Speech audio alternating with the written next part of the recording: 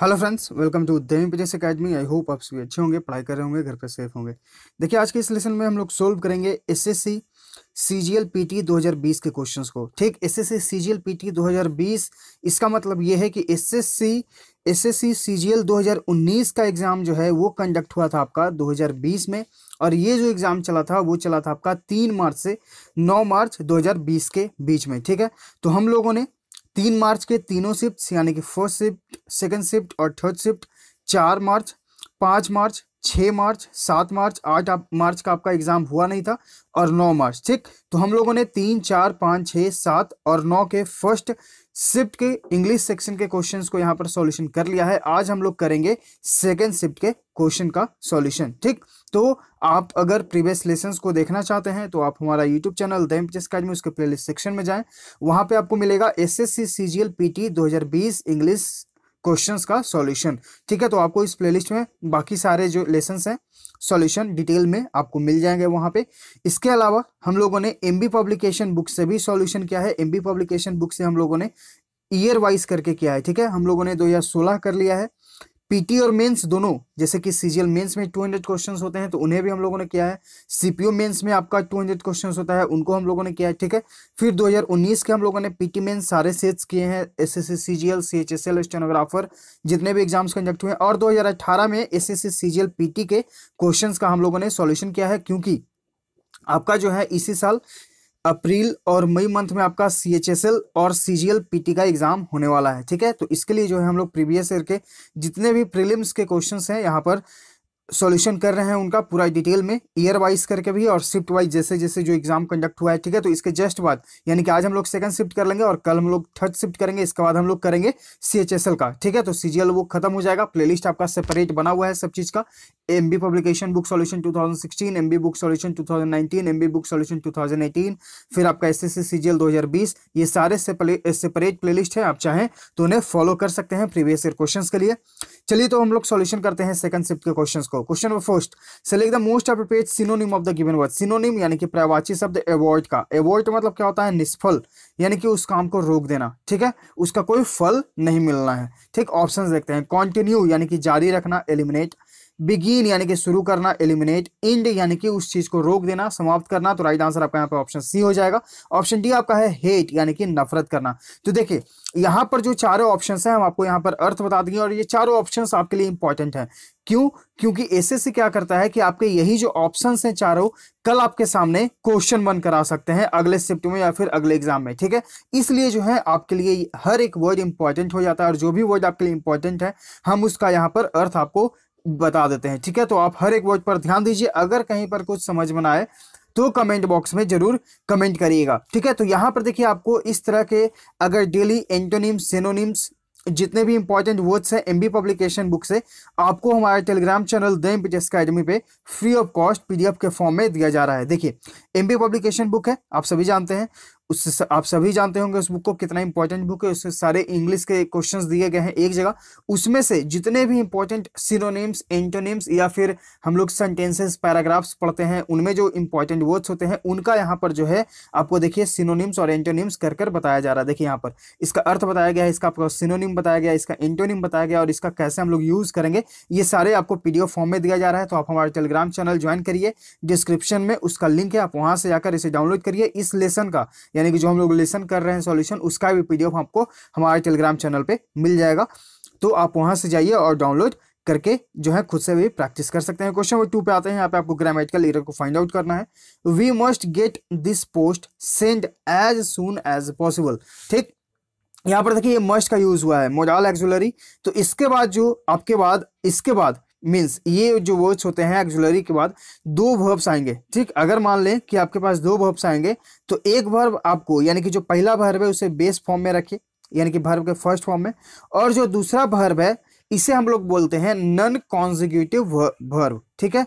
None consecutive verbs और ये जो है हमेशा इस मोजाल के बाद जो दूसरा वर्ब आएगा, वो अपने वर्ब के, ठीक थर्ड फॉर्म में होता है सॉरी थर्ड फॉर्म में यहाँ पर होगा, ठीक है? तो यहाँ पर जो है सेंड के जगह हम क्या यूज़ करेंगे? यहाँ पर सेंड के जगह जो है, हम सेंड का यूज़ करेंगे तो इरर हो जाएगा आपका ऑप्शन डी में.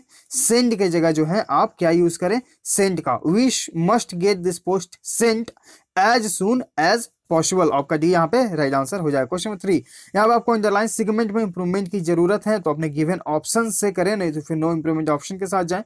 I was sitting at home doing nothing मैं अपने घर बैठा हुआ था, कुछ नहीं कर रहा था। When I had hear that song again यहाँ पर देखिए हैड हियर जो है आपका अंडरलाइन सेक्शन है। आई हैड नहीं हैड हियर आपका यहाँ पर अंडरलाइन सेक्शन है। इसमें आपको इंप्रूवमेंट की ज़रूरत है।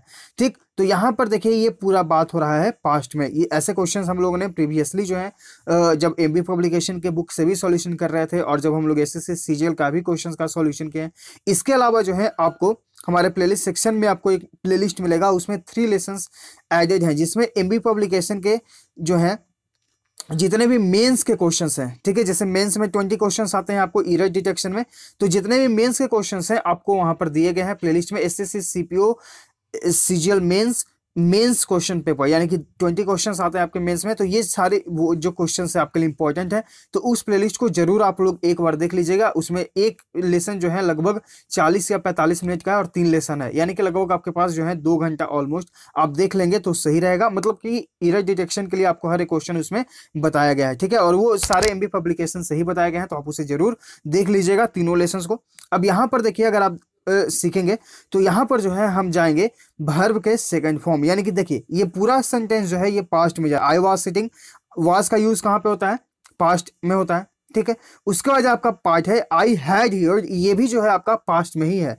हैड हियर्ड यानी कि हैड प्लस भर्व का थर्ड फॉर्म ये भी पास्ट में ही है। लेकिन हमें यहाँ पर पास्ट परफेक्ट की ज़रूरत नहीं है, हमें यहाँ पर सिंपल पास्ट की ज़रूरत है, यानी कि पास्ट इंडिफिनिट क्योंकि हमारा जो पहला पार्ट है, ये हमारा पास्ट कॉन्टिन्यूस में है, ठीक है? तो पहला पार्ट आपका पास्ट कॉन्टिन्यूस तो दूसरा पार्ट आपको जो है सिंपल पास्ट, यानी कि पास्ट इंडिफिनिट में रखना होगा तो हैड हियर्ड का जगह जो है, आप सिर्फ़ हियर्ड का यूज़ करिए। I was sitting at home doing nothing when I hear that song again यानी कि जब मैं, मैंने उस गाना को सुना। मैं अपने घर पर बैठा हुआ था और उस गाने को सुन रहा था और मैं उस समय कुछ नहीं कर रहा था, तब मैंने ये गाना सुना, ठीक? तो यहाँ पर जो आपका राइट आंसर हो जाएगा, आपका ऑप्शन बी हो जाएगा। एक पार्ट आपका जो है पास्ट कॉन्टिन्यूस दूसरा पार्ट आपका past indefinite question number four यहाँ पे आपको जम्बल सेंटेंसेस दिए गए हैं, इसे आपको सही ऑर्डर में जो है कनेक्ट करना है। अरेंज करना है। तो इसके लिए हम लोगों ने क्या सीखा है कि चारों सेंटेंसेस को पढ़ेंगे। उसके बाद जो है, इसमें से एक हमारा जो है, सबसे इंपॉर्टेंट काम बनता है, वो बनता है एक सब्जेक्ट को चूज़ करना। आखिर किसके बारे में बात हो रहा है, ठीक है? चलिए, यहाँ पर हम लोग फिर से समझते हैं, हम लोग प्रीवियसली भी इस चीज़ को समझते हैं, आज फिर से समझते हैं। जैसे मान लीजिए कि लिखा गया है कि राम इज़ अ बॉय ठीक? फुल स्टॉप हम ये बस आपको एक सेंटेंस दे रहे हैं। आप बस इसे समझिएगा। इसके बाद है कि ही हैज़ टू लेक्स ठीक? ये दूसरा sentence he has two ears ठीक? तो यहाँ पर देखिए, अगर आप इस सेंटेंस को पढ़ेंगे तो इसे आप समझने के लिए आप क्या पहले करेंगे? सबसे पहले आप इसे अच्छे से पढ़ेंगे. राम इज़ अ बॉय यानी कि राम एक लड़का है. इसका अर्थ आप समझ गए. ही हैज़ टू लेग्स यानी कि उसके पास दो पैर हैं. ठीक? ही हैज़ टू ईयर्स यानी कि उसके पास दो कान हैं। तो इसका मतलब क्या है कि आपका सब्जेक्ट यहाँ पर क्या बन रहा है? राम, यानी कि पूरा बात राम के बारे में हो रहा है कि राम एक लड़का है, उसके दो हाथ हैं, दो पैर हैं या जो भी। ठीक? तो यहाँ पर हम हम लोगों ने कैसे समझा कि राम के बारे में बात हो रहा है कि हम लोग जो है चार, तीनों सेंटेंसेस जो गिवेन था, उसे हम लोगों ने पढ़ा और उनका अर्थ हम लोगों ने समझा और उसके बाद देखा कि यहाँ पर जो बात हुआ, वो हुआ राम के बारे में। तो आपको बस वही करना है यहाँ पर। ठीक है? आप चारों सेंटेंसेस को पढ़िए, उसके बाद उसमें से एक सब्जेक्ट निकालिए कि आखिर बात किस पे हो रहा है, ठीक है? अगर आप इस चीज़ को समझेंगे और ये कब होगा जब आप इस पर जो है लगातार प्रैक्टिस करते जाएँगे, ठीक है? क्योंकि जंबल सेंटेंसेस जो आ रहे हैं, अभी तो आपको पीटी में एक क्वेश्चन आ रहा है या दो क्वेश्चन ठीक है? मेंस में यही आपके ट्वेंटी क्वेश्चंस आएँगे और हर एक मार्क आपके लिए इंपॉर्टेंट है तो आप इस पर जो है ज़्यादा से ज़्यादा प्रैक्टिस करिए और जितना ज़्यादा प्रैक्टिस करिएगा, उतना ज़्यादा आप बेहतर इसमें होते चले जाइएगा, ठीक है? तो यहाँ पर आप पढ़ेंगे तो यहाँ पर आप पढ़ेंगे तो यहाँ पर बात हो रहा होगा कि बहुत सारे लोग जो हैं वो बैठे हुए थे और वो जो है कुछ नहीं कर रहे थे। ठीक, यहाँ पर यही बात हो रहा है कि we can frequently find a large number of people यानी कि हम लोगों ने ऐसे लोगों को पाया जो बैठे हुए थे यहाँ पर और कुछ नहीं कर रहे थे। ठीक, यानी कि वैसे लोग जो कुछ नहीं कर रहे थे उनके बारे में बात हो रहा है। ठीक even those who are employed यानी कि वो जिनके पास नौकरियाँ मतलब जो एम्प्लॉयड हैं often come late to office वो भी जो है ऑफ़िस लेट आते हैं लीव अर्ली और पहले चले भी जाते हैं unless they are force to be punctual जबकि उन्हें कहा जाता है कि आप जो है समय निष्ठ रहें, फिर भी वो लेट आते हैं और जल्दी चले भी जाते हैं, ठीक?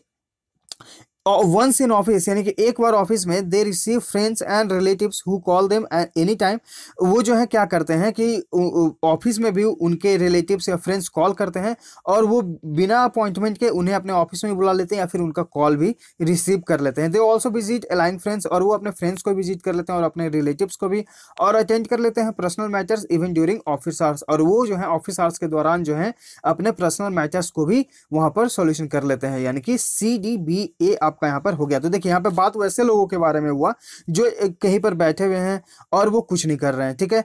अब वो व्यक्ति जो है, जो एम्प्लॉयड हैं, वो ऑफ़िस जाते हैं, लेकिन आते हैं लेट से और पहले चले भी जाते हैं और पंक्चुअल भी नहीं है। ठीक है, उन्हें कहा जाता है पंक्चुअल है, लेकिन वो ऐसा करते नहीं है। वो क्या करते हैं, अब ऑफ़िस के बारे में बात हो रहा है कि ऑफ़िस में वो क्या करते हैं कि अपने फ्रेंड्स रिलेटिव्स के कॉल भी रिसीव कर लेते हैं उसे मिलने भी चले जाते हैं ऑफ़िस आवर्स के दौरान। तो यहाँ पर यही पूरा बात हुआ। तो देखिए सी डी बी ए आपका यहाँ पर राइट आंसर आपका ऑप्शन भी हो जाएगा। तो इस तरह से आप जो है हर एक वर्ड को यहाँ पर समझिए और उनका अर्थ निकाल कर और उसके बाद जो है सेंटेंस को कनेक्ट करिए। आते हैं क्वेश्चन फाइव पे आप आपको वन वर्ड सब्सिट्यूशन बनाना है। Having something more than required यानी कि कोई ऐसा चीज़ जिसे ज़रूरत से ज़्यादा वहाँ पर आपको दे दिया गया ऑप्शन देखते हैं। सर प्लस यानी कि अतिरिक्त, यानी कि इसके अलावा तो राइट आंसर आपका ऑप्शन है सरोगेट इसका मतलब होता है कृत्रिम वस्तु। कृत्रिम वस्तु यानी कि जो आप मैनू मैन मेड है, ठीक है? यानी कि कृत्रिम है। सराउंडिंग्स यानी कि आपके आस पड़ोस क्वेश्चन नंबर ऑप्शन डी आपका है सर चार्ज इसका मतलब क्या होता है? इसका मतलब होता है अदायगी। ठीक? तो आपका जो राइट आंसर हो जाएगा, वो हो जाएगा आपका ऑप्शन है क्वेश्चन नंबर सिक्स यहाँ पे आपको डायरेक्ट इनडायरेक्ट स्पीच बताना, यानी कि narration what are you doing to call a puppy Jim the boy asked यानी कि बच्चे ने पूछा, यानी कि लड़के ने पूछा कि what are you going to call the puppy Jim यानी कि तुम इस पपी को क्या इसका नाम देने जा रहे हो, ठीक? तो यहाँ पर पूछा जा रहा है कि तुम जो है इसका क्या नाम दोगे? तो पूछने के लिए हम लोग क्या यूज़ करते हैं? आस्क का यूज़ करते हैं। तो ऑप्शन अगर आप देखेंगे तो वंडर और ट्वेल्थ को आप एलिमिनेट कर सकते हैं, क्योंकि यहाँ पे पूछने का काम हो रहा है जनरली कि तुम क्या नाम दोगे उसका, ठीक? तो यहाँ पर जब भी आप देखें कि इस तरह के सेंस में दिया रहे क्योंकि सेंटेंस आपको बहुत सारे फॉर्म में दिया जाता है। जैसे कि काइंडली तो वहाँ पे आप रिक्वेस्ट का यूज़ करेंगे, ठीक? जैसे कि प्लीज़ यूज़ हो जाएगा तो आप रिक्वेस्ट का यूज़ करेंगे। या फिर आप देखेंगे कि किसी चीज़ को करने के लिए कहा जा रहा है तो वहाँ पे आप ऑर्डर का यूज़ करेंगे। कहीं पर आपको कमांड का यूज़ करने के लिए करा जाएगा, कहीं पर आपको फॉर सेक कहीं पर फॉर बेड ठीक है? तो इस तरह के जो वर्ड्स हैं, वो हमेशा आपको ध्यान में रखने होते हैं। और अगर आपको नारेशन में किसी प्रकार का दिक्कत है तो हमारे टेलीग्राम चैनल द में डिस्क्रिप्शन में उसका लिंक है। आप वहाँ से जाइए और उसके सर्च आइकन में सर्च करिए नारेशन तो इस नाम से आपको एक पीडीएफ मिलेगा, उसमें आपको सारे बेसिक्स बताए गए हैं और एकदम डिटेल में अच्छे से बताया गया है तो आप चाहें तो उन्हें पढ़ सकते हैं, उसके बाद आपका सारा कंफ्यूजन दूर हो जाएगा। ठीक? तो यहाँ पर हमारा ऑप्शन तो एलिमिनेट हो गया था। ठीक? ऑप्शन बी और ऑप्शन डी अब ऑप्शन डी ऑप्शन ए और ऑप्शन सी में देखिए। जेन आज the boy what is he going और यहाँ पर देखिए सी वॉज़ गोइंग अब यहाँ पर देखिए इस का यूज़ कहाँ पे होता है? प्रेजेंट में होता है। और यहाँ पर जो बात हो रहा है ये जो पार्ट है हमारा ये पास्ट में है। तो इस चीज़ को देखते हैं। अगर ये पास्ट में है तो इन्वर्टेड कॉमा के अंदर वाला भी पार्ट जो है हम पास्ट में रखते हैं। अगर ये पार्ट प्रेजेंट में है तो इस पार्ट को भी हम प्रेजेंट में रखते हैं। तो चूँकि हम यहाँ देख रहे हैं ये पास्ट में है तो हम इस इस, पार्ट को यानी कि इन्वर्टेड कॉमा के अंदर वाला पार्ट भी जो है वहाँ पे हम पास्ट का यूज़ करेंगे। तो पास्ट को यूज़ करने के लिए जो है हम लोग इसका यूज़ नहीं करते हैं। इसलिए आपका ये भी एलिमिनेट तो राइट आंसर आपका ऑप्शन सी हो जाएगा। तो अगर आपको रूल्स याद हैं, अगर आपको सारे रूल्स रेगुलेशंस याद हैं ग्रामेटिकल रूल्स या नरेशन या जो भी आप जिस समय जो क्वेश्चन को डील कर रहे हैं, अगर आपको उसका रूल याद है तो आप अपने ऑप्शन को एलिमिनेट कर सकते हैं और डायरेक्ट अपने राइट आंसर पर आ सकते हैं। ठीक है? तो जो आपके रूल्स याद हैं और उसके थ्रू जो आप अपने ऑप्शंस को एलिमिनेट करते हैं, वो आपके लिए सबसे ज़्यादा इंपॉर्टेंट है। क्योंकि एलिमिनेशन करने से जो है, आपको एकदम सियोरिटी हो जाता है कि हाँ मेरा यही आंसर होगा, ठीक है? तो उस पीडीएफ को आप ज़रूर पढ़ लीजिए। आगे है, आपको एक पैसेज दिया गया और इसे फिल करना है। चलिए पढ़ते हैं। यहाँ से आपका शुरू है। इन अ वे यानी कि इस तरह से adult education is an educational movement through the medium through the medium of village schools यानी कि एडल्ट एजुकेशन जो है, वो विलेज स्कूल के माध्यम से जो है, एक एजुकेशनल मूवमेंट को चलाया जा रहा है। ठीक इन द बिगिनिंग यानी कि शुरुआत में इन द बिगनिंग शुरुआत में द अब यहाँ पर देखिए विलेज स्कूल्स के बारे में बात हो रहा है तो हम यहाँ पर ऑटोमेटिकली विलेजर्स से इसे कनेक्ट कर सकते हैं। पॉलिटिशियन यानी कि राजनीति, राजनीतिक ऑफिसर्स यानी कि अधिकारी चिल्ड्रन यानी कि बच्चे। अगर हम विलेज स्कूल्स को देख रहे हैं तो यहाँ पर और ऊपर से एडल्ट एजुकेशन है, ठीक है? तो इस चीज़ को ध्यान रखिएगा। तो इन द बिगनिंग यानी कि शुरुआत में द विलेजर्स वेयर सस्पिशियस यानी कि जो ग्रामीण लोग थे, वो सस्पिशियस थे इस बारे में, यानी कि संदिग्ध थे। सस्पिशियस यानी कि संदिग्ध, ठीक? इट वॉज़ हार्ड टू यहाँ पर देखिए it was it was hard to persuade ठीक परसुएड मतलब कि राज़ी करना है। देखिए, कल ये वर्ड हम लोगों ने सिनोनिम में किया है। अगर आपको याद है, अगर आप प्रीवियस लेसन को हमारे साथ रेगुलर फॉलो कर रहे हैं तो इसका अर्थ होता है राज़ी कर लेना, मना लेना। ठीक सिनोनिम में हम लोगों ने कल पढ़ा है। It was hard to persuade अब यहाँ पर किसके बारे में बात होगा? किन्हें मनाया जाएगा? ठीक है, यहाँ पे बात होगा कि किन्हें हम लोग मनाएँगे? तो यहाँ पे बनाएँगे उन विलेजर्स को, यानी कि गाँव के लोगों को, यानी कि देम के, देम यहाँ पर यूज़ करेंगे। ठीक तो it was it was hard to persuade them, यानी कि यह जो है बहुत ही मुश्किल काम था उन लोगों को मनाना परसुएड यानी कि मनाना टू रियलाइज़ या महसूस कराने के लिए that they were really getting something कि वे जो है बहुत ही अच्छा पा रहे थे फ्रॉम द स्कूल ठीक है? फ्रॉम द स्कूल जो है वो बहुत ही कुछ अच्छा पाने वाले थे। They were not at all sure लेकिन वो लोग जो है इतने सुनिश्चित नहीं थे श्योर नहीं थे, ठीक है? They were not at all sure that they wanted the children to leave their homes लेकिन वो ये नहीं चाहते थे कि उनके जो बच्चे हैं, वो अपने घरों को छोड़कर जाएँ। तो यहाँ पर एडल्ट एजुकेशन के बारे में बात हो रहा है कि विलेजर्स को मनाना जो है, बहुत ही हार्ड काम था। विलेजर्स जो थे, इस बारे में सस्पिशियस थे कि आखिर क्या होगा। ठीक है, वो बहुत ही मुश्किल काम हो गया, इसीलिए कि आखिर वो जो है ये सोच रहे थे कि उनके बच्चे जो हैं घर को छोड़कर कैसे जाएँगे। ठीक क्वेश्चन नंबर ट्वेल्व यहाँ पर जो है आपको डब्ल्यू एस कर बताना है anger about an unfair situation और अबाउट समोन्स अनफेयर बिहेवियर यानी कि क्रोधित हो जाते हैं आप किसी के गलत व्यवहार से या फिर गलत स्थिति में। ऑप्शन देखते हैं इंडिग्नेशन यानी कि क्रोधित होना। तो राइट आंसर आपका यहाँ पर ऑप्शन हो जाएगा ऑप्शन ए बाकी ऑप्शन है इंटेलिजेंस यानी कि दृष्टि या फिर क्षमा, कृपा इंडक्शन मतलब क्या होता है? आगमन या फिर प्रस्तावना इंडिग्नेशन यानी कि स्वदेशीकरण राइट आंसर आपका ऑप्शन है क्वेश्चन नंबर थर्टीन यहाँ पे आपको इडियम का अर्थ बताना है ब्लाइंड एले इसका मतलब क्या होता है? इसका मतलब होता है कि वृद्धि होना, ठीक है? किसी भी स्थिति में जो है आपका विकास होता है, वृद्धि होता है। ऑप्शन देखते हैं। Person who comes to meet occasionally जो कभी कभार आता है आपसे मिलने ओकेजनली यानी कि कभी कभार ठीक? ऑप्शन भी आपका है situation in which no further progress can be made यानी कि कोई ऐसा स्थिति जहाँ पर आपको कोई भी प्रोग्रेस न हो तो राइट आंसर आपका यहाँ पे ऑप्शन बी हो जाएगा। Taking first step after somebody's approach यानी कि आप जो है पहला कदम लेते हैं किसी व्यक्ति के अप्रोच के बाद। A state of deep thought यानी कि एक गहरा सोच। ठीक तो राइट आंसर आपका यहाँ पर ऑप्शन बी है, क्वेश्चन फोर्टीन, यहाँ पे आपको एंटोनिम यानी कि विपरीत शब्द बताना है, मेलो का। इसका मतलब होता है मधुर, मुलायम ऑप्शन देखते हैं, मीडियम, यानी कि साधारण या फिर औसत दर्जे का, ठीक? माध्यम भी मध्यम भी होता है। शाइनी यानी कि चमकदार सॉफ्ट यानी कि मुलायम। तो ये देखिए आपका सिनोनिम हो सकता है, लेकिन हमें बताना है यहाँ पे एंटोनिम ऑप्शन डी आपका है हार्ड यानी कि सख्त, कठोर। तो राइट आंसर आपका यहाँ पे ऑप्शन डी एक मुलायम, एक कठोर। क्वेश्चन क्वेश्चन नंबर फिफ्टीन यहाँ पे आपको जो है अंडरलाइन सेगमेंट में इंप्रूवमेंट की ज़रूरत है तो अपने गिवन ऑप्शन से करें, नहीं तो नो इंप्रूवमेंट ऑप्शन के साथ जाए।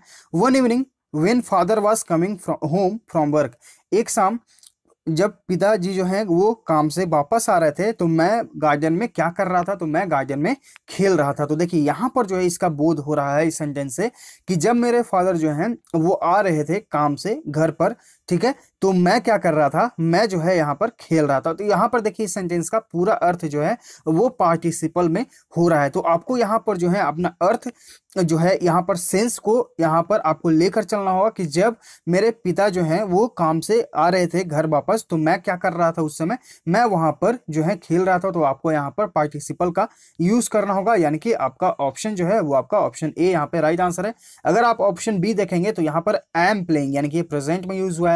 यहाँ पर देखिए आई प्ले अगर यूज़ करेंगे तो ये प्रेजेंट में भर्व का फ़र्स्ट फॉर्म है। ये आपका प्ले जो है, आपका भर्व का फ़र्स्ट फॉर्म इसलिए आप इसे भी यूज़ नहीं कर सकते हैं, क्योंकि ये पास्ट में यूज़ हुआ है। नो इंप्रूवमेंट ऑप्शन ए आपका यहाँ पर राइट आंसर है। क्वेश्चन सिक्सटीन यहाँ पे आपको इनकरेक्ट स्पेल्ड को चूज़ करना है। ऑप्शन ए आपका गारंटी ये देखिए वर्ड आपके सामने आ गया ऑप्शन के रूप में। ये वर्ड हम लोगों ने किया है दो से तीन दिन के पहले के लेसन में। ये आपका करेक्ट स्पेल्ड है गारंटी यानी कि आश्वासन। डायलीमा यानी कि दुविधा एथलीट यानी कि खिलाड़ी एथलीट ठीक है? यहाँ पर जो है एज के बाद इस ई की ज़रूरत नहीं है। एथलीट यानी कि आपका खिलाड़ी। तो ऑप्शन सी आपका यहाँ पर राइट आंसर हो जाएगा। कन्वीनियंस यानी कि सुविधा। राइट आंसर आपका यहाँ पे option C question number seventeen यहाँ पे आपको करेक्ट पैसिव वॉइस में चेंज करना है। The commander ordered his soldier to move forward and attack the enemy camps देखिए the commander order the soldiers to move forward and attack the enemy camps ordered subject plus ordered यानी कि verb का second form यानी कि ये जो है आपका पास्ट में बन जाएगा। ठीक? पास्ट में आपका यहाँ पर ये बन गया। अब यहाँ पर आपके लिए इंपॉर्टेंट काम क्या है कि यहाँ पर आप पहले अपना ऑब्जेक्ट चूज़ करिए, क्योंकि हम लोगों ने सीखा है जब हम लोग टेंस और वॉइस साथ साथ सीख रहे थे तो सब्जेक्ट आपका ऑब्जेक्ट बन जाता है ऑब्जेक्ट आपका सब्जेक्ट बन जाता है, जब हम लोग पैसिव वॉइस में चेंज करते हैं। अगर आपको एक्टिव पैसिव वॉइस टेंस में किसी प्रकार का दिक्कत है तो आप हमारा यूट्यूब चैनल द एमपीएस का उसके प्लेलिस्ट सेक्शन में जाएँ। वहाँ पे आप स्क्रॉल करेंगे तो वहाँ पे आपको मिलेगा एक playlist S S C forty five days plays इसमें आपको जो है टेंस और सॉरी टेंस और वॉइस एक साथ साथ आपको बताए गए हैं। तो यहाँ पर आप देखेंगे कि आपका जो सब्जेक्ट बनेगा, वो बनेगा हिज सोल्जर्स ठीक है? ऑर्डर ही सोल्जर्स यानी कि उन्होंने जो है सोल्जर्स को ऑर्डर किया कि आप जो है आगे बढ़ें, यानी कि मूव फॉरवर्ड हैं और इनेमी के कैंप पर हमला करें। तो यहाँ पर देखिए, अगर आप ऑप्शन देखेंगे तो ऑप्शन ए आपका है द सोल्जर सब्जेक्ट सही है। ऑप्शन बी आपका है the commander eliminate the commander eliminate his soldiers were ordered by the commander to be moved अब यहाँ पर देखिए टू मूव और यहाँ पर देखें to be moved to be moved हम लोग कब यूज़ करते हैं? जब हम लोग एक्जुलरी या फिर मोडाल्स का यूज़ करते हैं। तो ये भी जो है आपका ऑप्शन एलिमिनेट तो देखिए, अगर आपको रूल्स याद है तो आप अपने ऑप्शन को एलिमिनेट किए और डायरेक्ट यहाँ पे ऑप्शन ए के साथ आ गए। ठीक तो ऑप्शन आपका यहाँ पर राइट आंसर है। क्वेश्चन एटीन यहाँ पे आपको सिनोनिम यानी कि प्रवाची शब्द बताना है। एक्सीड का। एक्सीड मतलब होता है अधिक। इम्प्रूव यानी कि सुधार। डिक्लाइन यानी कि पतन। सरपास यानी कि अधिकता। डिक्रीज यानी कम होना तो राइट आंसर आपका यहाँ पे ऑप्शन सी है। क्वेश्चन नाइनटीन पे आते हैं। यहाँ पे आपको फिल इन द ब्लैंक करना है। My cousin study on the reading habits of a school children across three states has been recognised as a fill in the blank piece of research मेरे cousin यानी कि cousin का जो study है, किस चीज़ पर? तो स्कूल के बच्चे जो हैं पूरे थ्री स्टेट्स में, ठीक है? उनके स्टडी जो रीडिंग हैबिट्स हैं, उन पर जो मेरे भाई ने स्टडी किया है, उसे रिकोगनाइज किया गया है a pioneer piece of piece of research ठीक है तो यहाँ पर जो आपका राइट आंसर है, वो है आपका ऑप्शन है। पाइनियरिंग यानी कि अग्रणी पीस ऑफ़ रिसर्च यानी कि उसने जो है रिसर्च यानी कि खोज में जो है उसे सबसे बेहतर पाया गया है, उसे रिकोनाइज किया गया है। तो राइट आंसर आपका यहाँ पे ऑप्शन ए है। बाकी ऑप्शंस अगर आप देखेंगे तो नेग्लिजेंट मतलब क्या होता है? नेग्लिजेंट मतलब होता है लापरवाह, सुस्त यूजलेस यानी कि बेकार, निकम्मा प्राउड यानी कि गर्भ राइट आंसर आपका यहाँ पे ऑप्शन ए हो जाएगा। अग्रणी होता है, अनुसंधान होता है पाइनियरिंग मतलब। क्वेश्चन नंबर ट्वेंटी यहाँ पे आपको ईडियम का अर्थ बताना है द एसिड टेस्ट इसका मतलब क्या होता है? द एसिड टेस्ट इसका मतलब हो गया कि एक ऐसा घटना या फिर एक ऐसा स्थिति जहाँ पे आपको कुछ साबित करना होता है या फिर वो स्थिति या फिर वो घटना कुछ साबित करता है। Throwing acid on someone's face यानी कि आपने जो है किसी के चेहरे पर एसिड फेंक दिया। अ क्रिटिकल सिचुएशन और क्राइसिस यानी कि कोई महत्वपूर्ण या फिर नाजुक स्थिति। अ फैक्ट इवेंट और सिचुएशन डेट प्रूव समथिंग यानी कि कोई ऐसी घटना, स्थिति जो कुछ साबित करती है। तो ऑप्शन सी आपका यहाँ पर राइट आंसर है। अनप्लीजेंट और ऑफेंसिव टेस्ट यानी कि असुखनीय यानी कि जो अच्छा नहीं है। ठीक है? और ऑफेंसिव टेस्ट है। आपका राइट आंसर आपका option C question twenty one यहाँ पे आपको फिल ब्लैंक करना है। Suzerainty is having political control over a fill blank state suzerainty मतलब क्या होता है? इसका मतलब होता है अधिपत्य। ठीक है? यानी कि आपका जो, आपके ऊपर जो है किसी का कंट्रोल है। Suzerainty is having political control इसके जो है वो रखता है एक political control over a fill blank state democratic यानी कि लोकतंत्र आपका बैकवर्ड यानी कि पिछड़ा डिपेंडेंट यानी कि आश्रित यूनिफाइड यानी कि एकीकृत। तो यहाँ पर जो है कि डिपेंडेंट स्टेट जो एक होता है, उस पर जो है आधिपत्य होता है, किसी का पॉलिटिकल कंट्रोल होता है यहाँ पर। यानी कि जो दूसरे पर आश्रित हैं, उस पर तो लोग, सभी लोग जो है अपना जो है हक जताते हैं। तो यहाँ पर इसका बेसिकली यही अर्थ है। आपका ऑप्शन सी राइट आंसर हो जाएगा क्वेश्चन ट्वेंटी टू यहाँ पर आपको ग्रामेटिकल लीडर को फाइंड आउट करना है। Sita has no taste in classical dance यहाँ पर देखिए, Sita has no taste in जब भी इन टेस्ट के साथ इन का यूज़ हो तो इसका मतलब होता है कि डेजेंट में गुड जजमेंट यानी कि वो जो है क्लासिकल डांस में अच्छी जजमेंट नहीं कर सकती हैं। लेकिन यहाँ पे बात हो रहा है कि वो क्लासिकल डांस को पसंद नहीं करती हैं तो हम टेस्ट के साथ यूज़ करेंगे फॉर का। She has no taste for classical dance इसका मतलब क्या हुआ कि she does not much like classical dance ठीक है तो यहाँ पर जो है जजमेंट के बारे में कोई अर्थ तो निकल नहीं रहा। इसलिए जो है एरर हो जाएगा, वो हो जाएगा आपका ऑप्शन ए इन के जगह जो है आप फॉर का यूज़ करिए। Taste for, no taste for, इसका मतलब होता है कि नॉट मच लाइक ठीक है? तो यहाँ पर जो हो जाएगा आपका राइट आंसर हो जाएगा आपका ऑप्शन है यानी कि उसे जो है क्लासिकल डांस पसंद नहीं है, क्वेश्चन नंबर ट्वेंटी थ्री यहाँ पे आपको जम्बल सेंटेंसेस दिए गए हैं तो ये आपके लिए होमवर्क है, आप इसका कमेंट बॉक्स में ज़रूर कमेंट करके बताइए, इसका right answer question number twenty four यहाँ पे आपको एंटोनिम बताना यानी कि विपरीत इमर्ज का इमर्ज मतलब होता है प्रकट होना, उजागर होना ऑप्शन देखते हैं सरफेस यानी कि सतह डिसअपियर यानी कि गायब होना तो राइट आंसर आपको ऑप्शन बी क्योंकि हमें बताना है एंटोनिम यानी कि विपरीत शब्द तो एक तरफ़ प्रकट हो रहा कोई व्यक्ति और एक जो है गायब हो रहा है अनाउंस यानी कि घोषणा करना ऑप्शन डी आपका है अपियर यानी कि प्रकट होना तो ये तो सिनोनिम हो गया राइट आंसर आपका option B question twenty five यहाँ पे आपको इनकरेक्ट स्पेल को चूज़ करना है सोल्जर यानी कि सैनिक बिगनिंग यानी कि शुरुआत guidance G U I D A N C E guidance यहाँ पे ई की जगह आपको क्या यूज़ करना है? ए का यूज़ करना है गाइडेंस यानी कि दिशा निर्देश साइनिंग यानी कि चमकदार राइट आंसर आपका यहाँ पे ऑप्शन सी है। ठीक है? ये यहाँ पर देखिए, इस पीडीएफ में आपको इसका आंसर भी मिल जाएगा ताकि आप खुद से प्रैक्टिस भी कर सकते हैं और इस तरह के पीडीएफ्स आपको हमारे टेलीग्राम चैनल पे मिलेगा। आप चाहें तो वहाँ से जाकर डाउनलोड कर सकते हैं। पहले चैनल को ज्वाइन ज़रूर कर लीजिएगा। ठीक है? तो लाइक करिए शेयर करिए और अगर आप चैनल पर पहली बार विज़िट कर रहे हैं, अगर आपने कंप्लीट लेसन देख लिया है, अगर आपको ये लेसन अच्छा लगा, समझाने का तरीका अच्छा लगा तो चैनल को सब्सक्राइब कर लीजिएगा ताकि आपके पास नोटिफिकेशन जाता रहे, आप अपडेट होते रहें, हम लोग मिलते हैं आगे के लेसन में। Thank you.